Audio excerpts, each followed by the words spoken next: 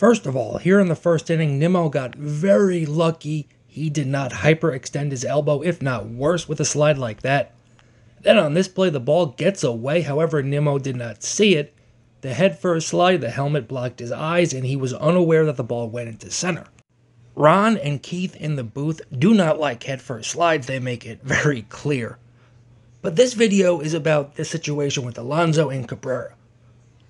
Cabrera's going to get penalized here, not for a delay of game, but for being ready and set on the mound before the hitter is. As you can see, they reset the clock, there's 17 seconds left, and instead of the umpire just saying time, he gets penalized with a ball. I personally do not like that at all. So, because the pitcher is ready on the mound before the batter is, you're going to call it a ball. What league is this? So, here's their explanation. What do you think about this? He wasn't trying to quick pitch, but you know what I'm saying. He was ready before he's supposed to be. So it's two and two with the clock violation. Hmm. And that's in the dirt. Forte.